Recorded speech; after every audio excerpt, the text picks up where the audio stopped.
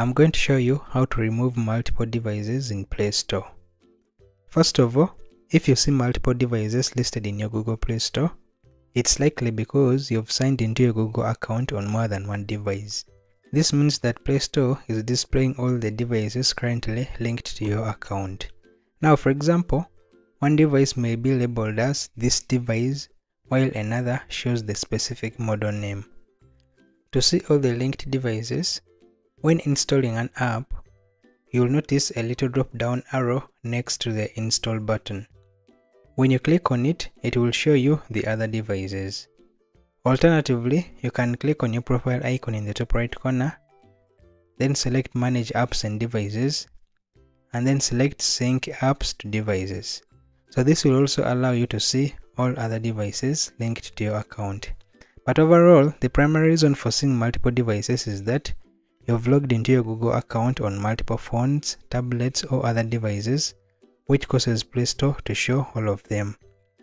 Now to remove those unwanted devices, open your browser, then go to the search bar and type play.google.com.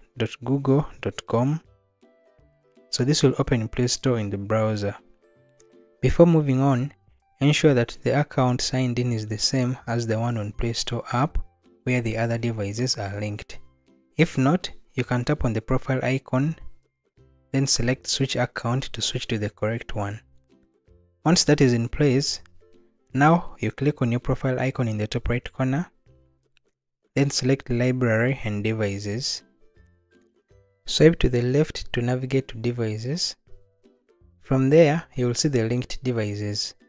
Now to remove the unwanted ones, you need to switch to desktop mode by clicking on the three dots in the top right corner and selecting desktop site. Once it has reloaded, you can then remove unwanted devices by unchecking the selected boxes.